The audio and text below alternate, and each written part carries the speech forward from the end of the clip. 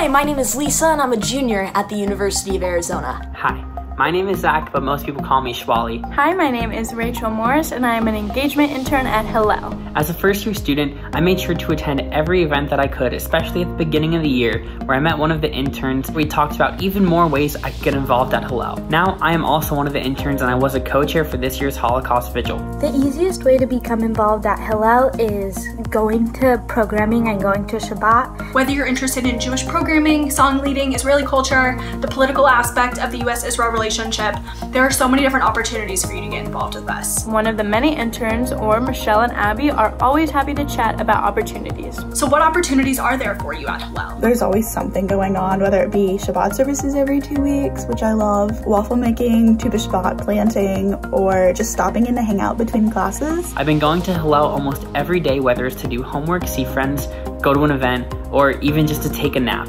Currently, we have many different ways to get involved, either as a participant, an engagement intern, a Shabbat intern. You can further develop your leadership skills by becoming a member of our Shabbat team or our Israel team, um, and there's also an opportunity for you to become an engagement intern if you would like. Our Jewish community on campus is welcoming and inviting. From the second I stepped on campus and walked into the Hillel building, I knew that I was at home. Our Jewish community on campus is connected and inspiring. Our Jewish community on campus is definitely a home away from home for our students. Come to Shabbat services or stop by any day to chat with us. We have many programs and opportunities for new incoming freshmen. It's been amazing to have this community, this family on campus during times of joy and times where I've needed some support.